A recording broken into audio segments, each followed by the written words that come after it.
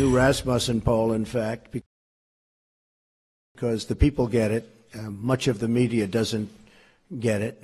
They actually get it, but they don't write it. Let's put it that way. But our new Rasmussen poll just came out just a very short while ago, and it has our approval rating at 55 percent.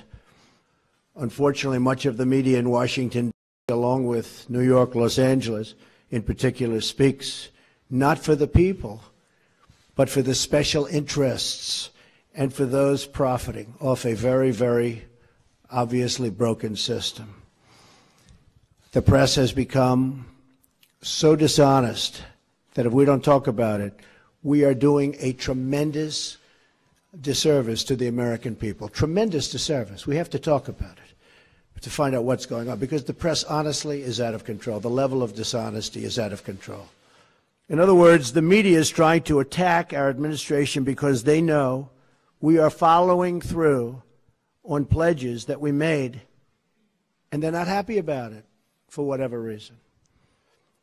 I turn on the TV, open the newspapers, and I see stories of chaos. Chaos. Yet it is the exact opposite.